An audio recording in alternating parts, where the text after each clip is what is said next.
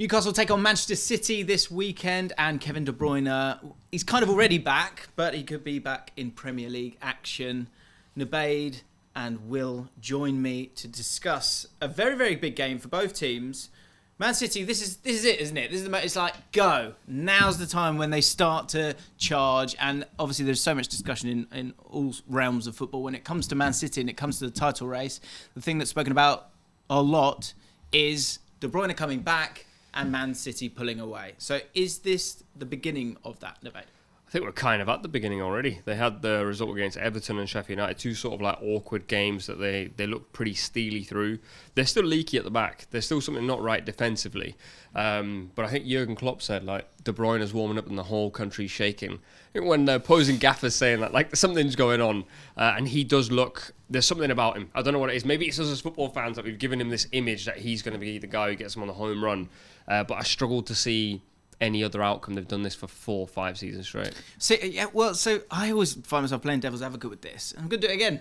And uh, that's why you're a good host. yeah, that's it. Well, because with Man City, I get it. I, I understand that everything is kind of in place for it to be the same, but that in itself can lead to those cracks that can allow it to not happen. Mm. Um, because if you're just sort of waiting for something to happen instead of going and doing it, again, that's two different things. Like, do do you feel like we are falling into the same trap of Man City? Are they a little bit off this year, or do you think there's any real legs in it this this season? I think the inevitability thing, I was falling into that sort of trap, but I, I, still feel like from the summer that they didn't really strengthen as well as they should have, and that was shown with like the Rodri injuries and the suspension. As soon as he's out, I mean, there's holes to be had there, isn't there? So I'm hopeful in that regard. I think it'd be interesting to see what they do in January. I don't think they'll replace, like get a backup for Rodri. Calvin Phillips is on the way out. Not that he's at the same caliber, but.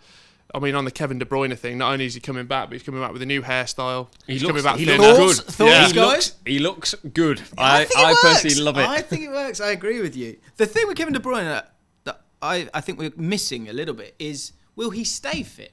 Yeah. That's that's everything. This say he doesn't, and I, you know I don't want anyone to get injured, but I, he has been bizarrely both incredibly prolific but also injury prone. Has missed the you know so much. Often players break down again. If he does do that, if that does occur, how does that change things when it comes to the title race for Man City? Do I think in the last four or five weeks we've probably seen Foden take on the De Bruyne role really, really well, and it's the first time even Pepper said that I wouldn't actually mind playing both of them as two advanced eights, which is scary, scary thought. But Foden seems to have now finally found that role and made it his. And so I think actually it could end up being Haaland. It's either Haaland or De Bruyne. They need one or the other fit at all times. Mm. And you'd imagine for the last 15 games out of 18, if they keep one of them fit, they might still be all right. Uh, Foden's got a big part to play though, for sure. Yeah, because I think that gap between or, or sort of the loss of Mahrez, Gundogan, and De Bruyne for an entire season is enough to sort of take a team hmm. that won the treble, and you think of the sort of the rise and the progression of of an Arsenal, Aston Villa, we'll put you in there, Liverpool, Tottenham, we're going to chuck you in there as well.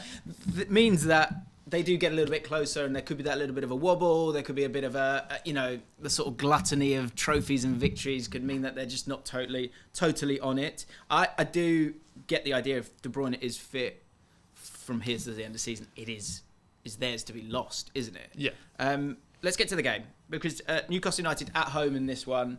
Uh, it was a great game um, last year between the two. I think finished finished three three. Yeah. Um, but over the last five seasons across all competitions, Man City have won eight, Newcastle have won two. But that was, you know, there was a different era within that as well. How are we feeling about Newcastle United? Because it's been, it's been bobbly, yeah. hasn't it, for them? I think um, a Derby Day victory, no matter what level it is, is fantastic. Just what they needed, right? Just yeah, just exactly what they needed. I, have written off Eddie Howe so many times this season. Where uh, Eddie Howe, you t- t- t- try to speak to him, it's like it's either really right, he's they're going to challenge for the title, or the next week it's I don't know if he's got the job. It's like so high and low. So I think write them off at your peril. I think they can get back on track. It's almost this sort of game where we do write them off and Eddie Howe pulls out a performance like we know he can do, and Newcastle could get the victory. There's been a lot of talk about injuries, but I think the one that people haven't really spoken about is Dubravka. Since he's come in, he came in for that United game. He only had to. He was there what for eight minutes, I think. Uh, then Everton, Tottenham, Fulham, Luton, Forest, Liverpool. If I gave you those fixtures before Dubravka came in, you'd go they'd win four or five of those. They've only won one of those games, Mm. and they've conceded a lot of goals in that period. So I think defensively they've become a bit more sus. Trippier's obviously out of form as well. What's happened there, by the way? Quite knackered. What a week! That was that week where he was just like, "Forget this, yeah, yeah, I'm think- done." I'm not sure I need this anymore. Hey, they're, they're definitely. I think the sort of the jadedness you can see in a, in a few teams at this um, stage of the season, and I think this sort of mini break that they were both all teams will have in the Premier League will be useful, but none more so than Newcastle because I think that is the one thing where. Is it the phrase that their identity is their intensity? I think that's the one that Eddie Howe Sounds likes to use. Mhm. Yeah, Sounds really good. that's good, isn't it? Uh, I think that's one where I thought they might sort of lose their way a little bit or sort of run out of gas a little bit because I think when it comes to Eddie Howe, and we're going to talk about his job and I've seen a lot of stuff about the sort of ceiling of Eddie Howe and if he's reached it, whatever that means. And I'll do a rant in the next video, so save it for then. But Newcastle, there's a lot of players there where it, their superpower is that intensity. So, do you think they can find it in this game? Have they got, they got enough reserves before the uh, before the break that they're going to have?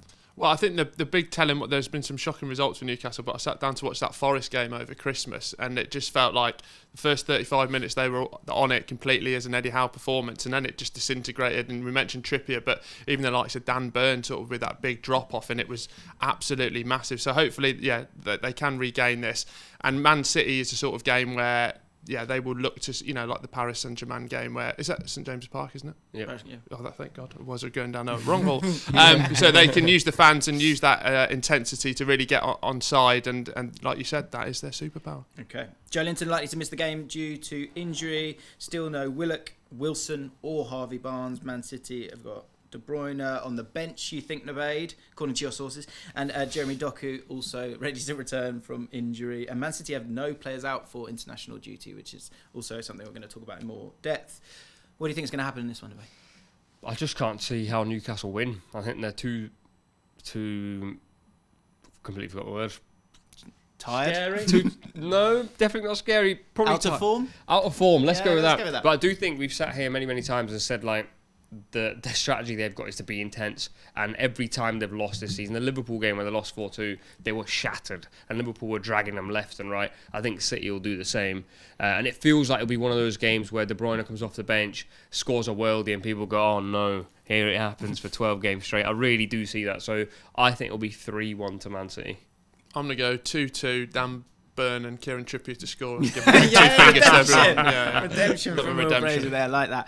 Uh, I think this will be pretty routine for, for Man City. I remember the game at the start of the season, and Foden was fantastic in that game, and Man City were fantastic in that game, able to play through Newcastle really, really well. And I think we'll see something similar in this one. I'm going to go for a comfortable 2 0 victory for Man City. But what do you guys think? Let us know in the comments down below. 820.